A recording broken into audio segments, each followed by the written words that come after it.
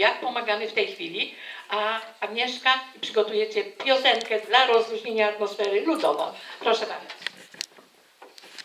Dziękuję bardzo za te słowa do wszystkich moich rodaków, do Polaków, ale my e, w naszym tutaj mieście również e, skupmy się na tym, jak my możemy w tym najbliższym środowisku pomóc. My, czyli Ostrów Wielkopolski, kilka dni po wybuchu wojny już pani prezydent otworzyła dom polsko-ukraiński. Przewidując, że za kilka dni, bo już na granicy uchodźcy się znajdowali, że po pewnych pewnym czasie, pewnych godzinach, kilku godzinach, na pewno ta fala y, uchodźców do nas dotrze. I rzeczywiście tak się stało. Już y, y, pod koniec marca już znaleźli się Ukraińcy, uchodźcy w naszym domu. Luba, kiedy przyjechałaś? 1 maja. Marca. Czyli Luba przyjechała już 1 marca, czyli już jesteś przeszło miesiąc. E, w, w Ostrowie Wielkopolskim. Ja wiem, że jesteś zadomowiona bardzo, masz wielu przyjaciół. No i Luba jest taką. Luba jest taką rezydentką w tym domu ukraińsko-polskim, bo ponieważ jest taki długi okres czasu, to się na wszystkim zna, wszystkich zna, wie gdzie kogo skierować. Dziękujemy Ci za to, że pomagasz nam.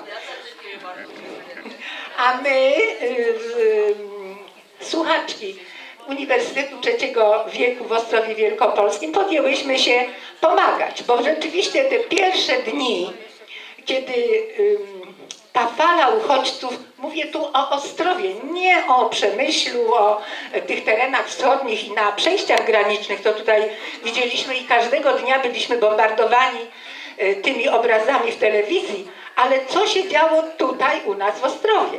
My na pewno teraz chodząc po Ostrowie, czy idąc do supermarketów, słyszymy język ukraiński. Czy przy kasach, czy, czy przechodząc ulicą, słyszymy ten język. Jest Ukraińców bardzo dużo, nie wiem ilu Ukraińców jest w tej chwili, ale wiem, że przed wybuchem wojny było tych Ukraińców pracujących u nas wówczas jeszcze, bo to było przed wybuchem wojny, 300 osób.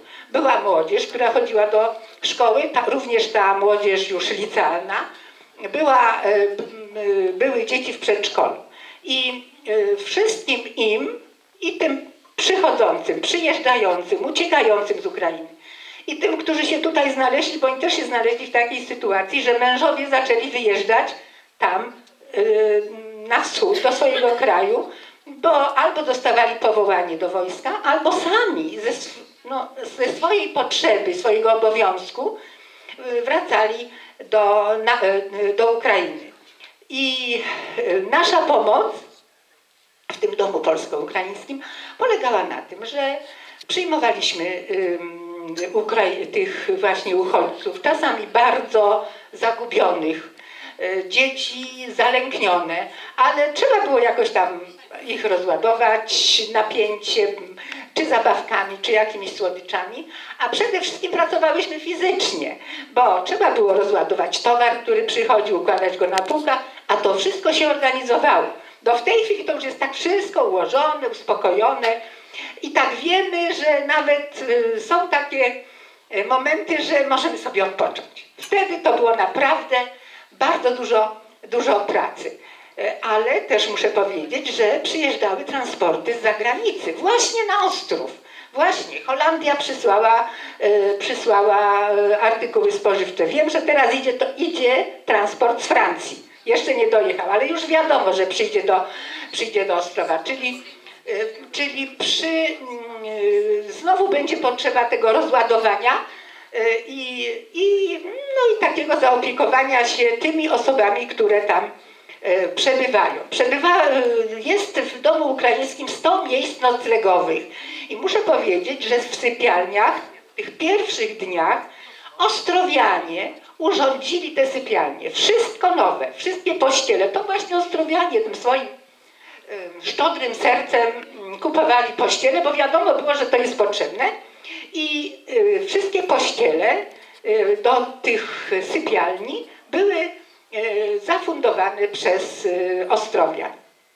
Potem artykuły spożywcze różnego rodzaju zakłady pracy, przemysłu spożywczego albo markety dostarczyły e, tam różnego rodzaju produkty i suche, słodycze, napoje, no to wszystko, co właściwie jest, jest potrzebne. Ja myślę, że e, trochę ten okres świąteczny może będzie taki spokojniejszy, ale po świętach, jeżeli ktoś będzie chciał dołączyć do tej grupy, a, e, grupy pomocowej naszej, a jest to grupa przeszło 30 osób, już w tej chwili dochodzi 40, 40 pań, 40 kobiet. E, To bardzo e, chętnie mm, powiększymy to nasze grono, ponieważ e, no nie, nie zawsze każdemu pasuje tam ten czas, żeby te dwie godziny, bo mamy takie dyżury po dwie godziny, żeby ten czas tam poświęcić. Ale w ciągu tygodnia dwie godziny na pewno pracy się znajdzie. Ja tutaj tak patrzę, Bożenę zobaczyłam za słupem. Bożena z kolei jest osobą, która rezyduje tam i cały czas w tych półkach siedzi. Ona wie, ile jest mleka, czego brakuje. Tu brakuje soli, tam brakuje mąki.